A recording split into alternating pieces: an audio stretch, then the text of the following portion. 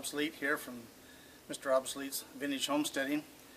Today we're going to talk about chainsaws a little bit, the ones I use all the time. You know, we heat with wood like most homesteaders do. Chainsaw is important for firewood cutting, also for cutting down trees that are damaged from storms, trees with root rot and different things. So, we'll read the mail today here. Let's see if I can read it. Because I can.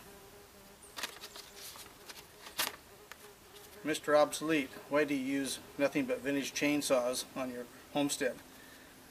Because I can. I have the skills, knowledge, and equipment to repair, rebuild, and restore. Plus, they're super reliable, easy to work on, unlike the new saws.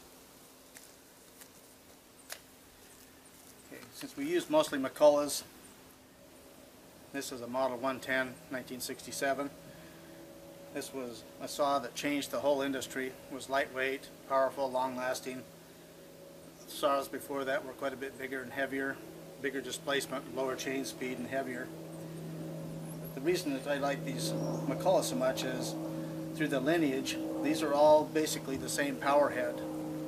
Displacement slightly different in different ones, but the parts like the crank bearings and seals and clutches, all of the common parts you need over the years are all the same. So that, that's why even though they've been out of business since 1999, almost any parts available and they're still relatively inexpensive. The other reason I like McCulloch's is this little feature here, this button here. Almost every McCullough has that it has an overriding oil pump so that if you're in the cutting where you need more oil on the bar, you can simply put more on there other than the automatic oiler and uh, speeds the saw up, makes the saw work a lot less, makes them last a lot longer. Bars last much, much longer. This is the most common saw I use. This is a Promax 610 usually run a 20 to 24 inch bar. You can run up to a 28, but it works them a little bit hard. But you can see this one's all metal. And this one was the start of the homeowner's plastic saws. The side cover's plastic, the gas tank's plastic, the air cuddler plastic, handles plastic. But there again, it was a wave of the future. All new saws are plastic, including the crankcase on a lot of the cheap old junkers they make today.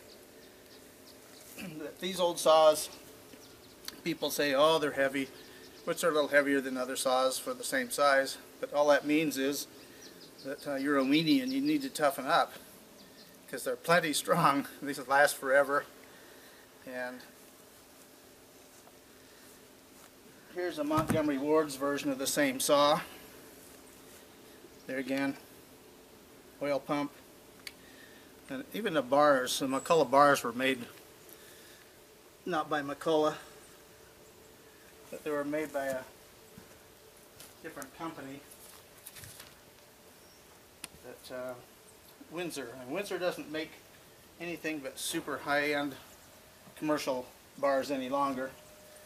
Now this one looks the same as the others. This one, a lot of times I run a 28 inch bar on It's got a 24 on it now. This is a Promax 650. Has the same displacement as the others, but it's a factory hot rod. It's got 30% more power. It's got more magnesium and it's lighter. It's a nice, powerful saw.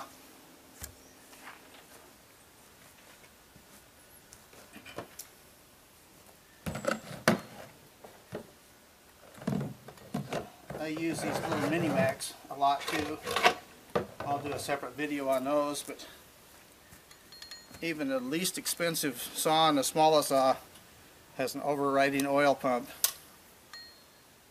Nice original bar and chain. And then for their size, they're really powerful. If you have bought a new saw the same size, most of them aren't nearly as powerful. They're also finicky and require a lot of fiddling.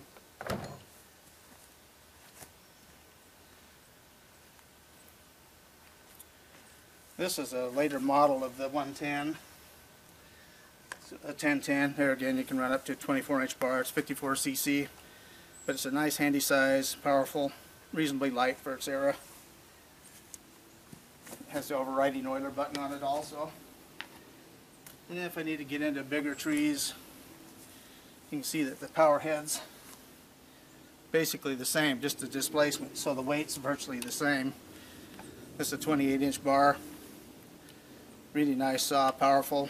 There again, overriding oiler button. So that's why I use McCulloch's. The other thing, maintenance is real critical on them. That's why these last, the lane saw I use, using the same saw for 39 years. These other saws are basically backups. I just use them occasionally if a carburetor's got a problem or some little glitch. I just pick up another one and go out and get back to work. The nice thing is that all of these saws together, plus a bunch of spare parts, I have less money in them than one brand new chainsaw like a Rancher from Husqvarna or something that's made out of plastic. And it's a throwaway saw, six to eight years, it's junk. No parts available. I can still get all the parts for these.